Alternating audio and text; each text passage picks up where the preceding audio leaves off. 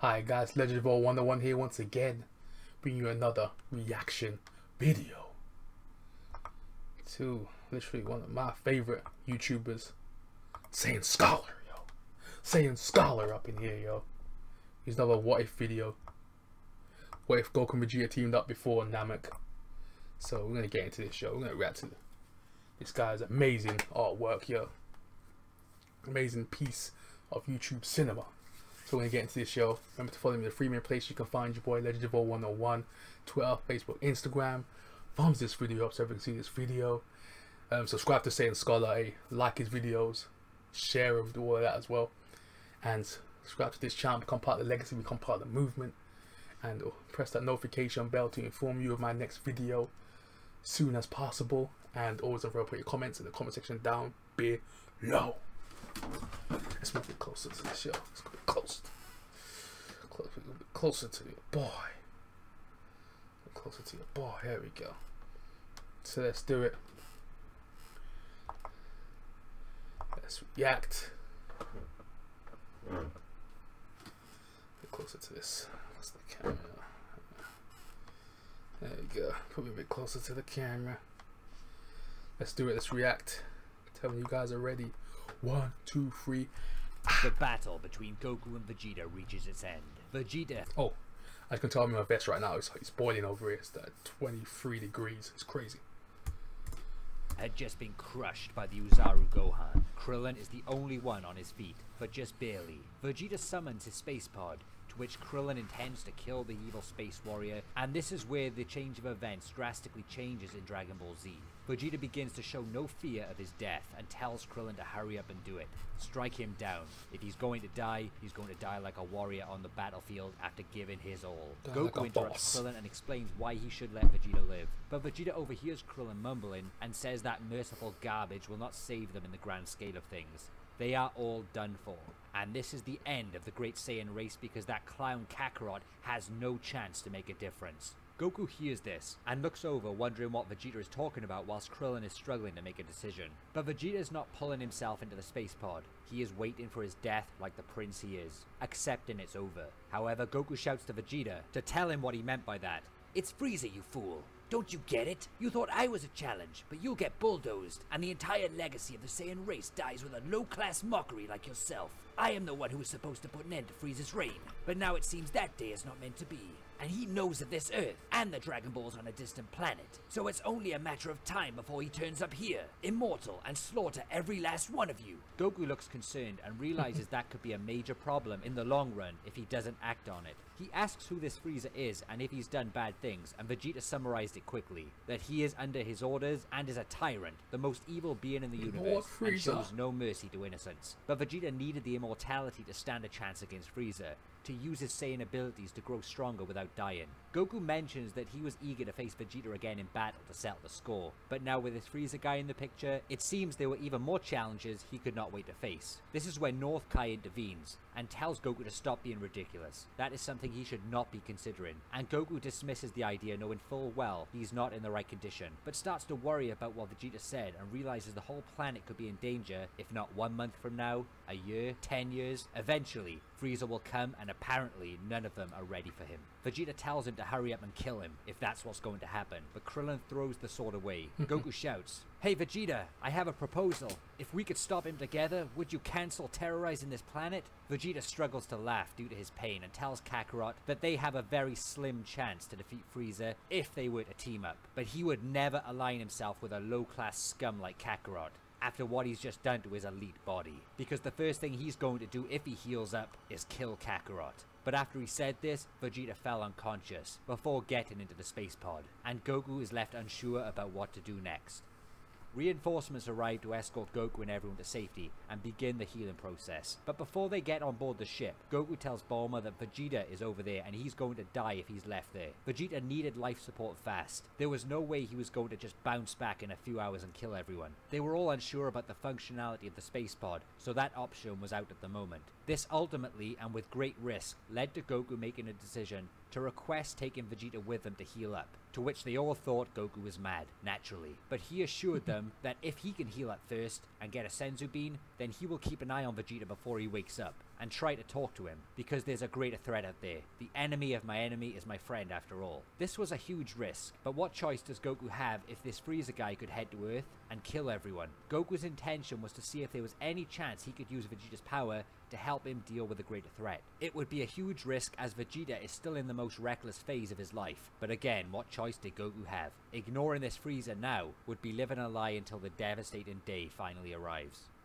And so 39 days pass and the events of Goku's recovery takes place. But due to Vegeta having no advanced life support in the Saiyan space pod and no healing chamber on the planet he originally went to, he still remains bedridden and completely out of the picture because Earth's medical facilities were inferior to the healing technology the Frieza Force had at their disposal. Vegeta's recovery on Earth could take months before he even comes through as he was severely beaten nearly to death by Earth's heroes. Goku and Vegeta's beds were right next to each other, where the healing Goku could keep an eye on Vegeta, in case he tries anything. But the prince's power was worryingly low. There was thoughts he may not even make it. The events of Dragon Ball Z would continue as normal, with Krillin, Gohan, and Bulma arriving on Namek with the intention of bringing their friends back, after Nappa and the Saibamen killed them. Master Roshi arrives and informs Goku of the news that Bulma relayed from Namek that there are 10 space warriors who are much stronger than Vegeta there, killing the Namekians, and probably them next. Goku manages to get the Senzu Bean from Yajirobe and heals up nicely, to which he feels his new surge in power levels. The Zenkai boost worked. The Saiyan cells within him would generate a new power. He did not give one to Vegeta for obvious reasons, but now the worry would begin. Goku needed to get to Namek to help Gohan, Krillin, and Bulma. He had a feeling that it could be that Frieza guy Vegeta warned him about. Goku heads to Dr. Brief to see the spaceship he modified from Goku's space pod as a kid, but a big change had occurred. Vegeta's space pod was also recovered as he didn't use it to retreat. The other space pod has still been destroyed by Bulma by accident. But because two space pods were used to customize a new spaceship, the ship was powered up even more, and much faster. And instead of the six day duration that it would take to get to Namek, it had been reduced to five days. This meant Goku could get to Namek much sooner than in the original story, and the difference this would make would be catastrophic. However, at this time, due to Vegeta not being on planet Namek, he would not have engaged Kiwi. Instead, Look at the way Saiyan Scholar just breaks down these ideas, yo. This this is good. This is good stuff, yo. Thumbs this video up, yo. Hey, Dead, the up. moment Frieza decided to head to planet Namek, he commanded Kiwi a while ago to locate this Earth and Vegeta, to go there and kill him because he fears Vegeta is becoming rebellious and did not want him interfering with his wish for immortality. To his delight, Kiwi accepted, and now his space pod just plummeted through the atmosphere of Earth and landed near West City. He looks at the environment and spits on the ground, calling it a disgusting wasteland. He activates his scouter, but he wouldn't be able to find Vegeta's power because it was far too low in his condition. However, he did detect another power level close by of approximately 7,000 and assumed it had to be Vegeta. He dashes over there and lands near Capsule Corporation to which he sees the warrior Goku, looking rather relaxed, as Goku had already detected Kiwi the moment he approached Earth. Kiwi arrogantly demands who Goku was and where Vegeta was, and if he doesn't tell him, he will murder every last person around until he begs him to stop. Goku's face gets serious, and looks at Kiwi and tells him that he recognizes that outfit, and that's not a good sign for this planet. He must be working for that Frieza guy, and he's sick of people just showing up here, thinking they can do whatever they want. Goku tells him to leave, or he'll throw him off this planet instead. Kiwi laughs and tells Goku his pitiful 7,000 power level is no match for his approximately 18,000. Goku smiles and says, You have no idea. Suddenly, an explosive burst of power erupts, and Goku dashes to Kiwi and gives him a gut punch, making Kiwi fall to his knees. His scouter surged to 14,000 as Goku was revealing his true base power. Kiwi jumps up and goes for a ferocious ki-based assault, and Goku worries about the safety of the people near Capsule Corp, so taps into a Kaioken times 2, deflects the blasts with precision to nearby mountains, and charges at Kiwi with a power level of 28,000. An explosive knee to the balls, double axe handle to the ground, but before Kiwi Oh, Saiyan Scholar, bro. Explosive knee to the balls, bro. That's my. hits the ground, Goku moves quickly to catch Kiwi by his lower spine. The same thing he did to Nappa. He was no match for the rejuvenated Kakarot and his Kaioken times two. Kiwi goggles. Who are you? And the reply was, My name is Goku, and I'm a Saiyan from Earth. Now to send you back where you came from. Goku flies with Kiwi to the wasteland he detected him landing at, and puts him back in his space pod. Kiwi gargles a little more. Frieza knows you're all dead. Goku randomly hits a few buttons, not knowing what he was doing. And in seconds, the space pod door started to shut. It launched up high as if it was going to soar through the atmosphere, but instead, it exploded. Kiwi was dead. Goku looks up in shock at the metal falling from He the was sky. dead. I guess I should have read the instructions first. But the circumstances were getting far more interesting. That entire transmission of Goku was sent directly to Frieza, and Frieza smiles, Set in Earth at a much higher priority after Namek had been visited. Earth was in even more danger than normal, and Frieza was more interested in the whereabouts of Vegeta and this new Saiyan with an odd name called Goku. Goku realizes the seriousness of this situation and believes more fighters will head to this planet, and it's in much more danger than ever. He flies off to the hospital with a determined look on his face and walks up to the bedside of the unconscious Vegeta with a senzu bean in his one hand and a glass of water in his other. Yes, even Goku realizes that someone KO'd would struggle to consume a senzu bean. What incredible stories will happen next? Just what is Goku thinking? How is Vegeta going to react? And will they travel to planet Namek together? Find out next time on Dragon Ball Z.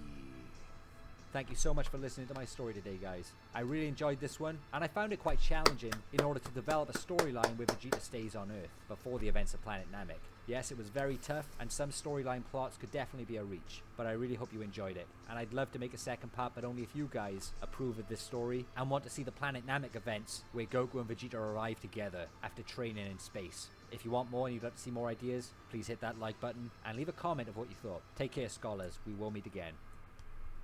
Thank you for watching today, scholars. Your voices are important too, so let me know what you thought about the video and be sure to comment anything you wish to add about the topic. Please hit the like on the way out to help this video and the channel grow. It really does make all the difference. Thank you for your support, take care my friends, and I'll see you all in the next video. Hey, that was great. Saiyan Scholar. Vegeta uh, teaming up with Goku before Namek. Okay, I like it. I like that. Very creative. Very creative. Hey, as I said before, go thumbs this guy's videos up. Subscribe to him, Saiyan Scholar, on YouTube. Get it done now. This guy's a damn role model. and what you're saying his videos knows exactly what I'm talking about. Shout out to end. So, that's just my reaction to what if Goku and Vegeta teamed up before. Namek. Hey. Put your comments in the comment section down below. Tell me you guys think about this video, this reaction. And me in my vest. It's hot out here. Chill, chill. Okay, so remember to follow me in the Freeman places. You can find me Twitter, Facebook, Instagram. Thumbs video up, share the video, subscribe, press that notification bell to inform you of my next video. And always and forever, put your comments in the comment section down below. And wherever you are, day or night, stay safe out here in these streets, especially these times. It's Legend of 101 signing out. Peace.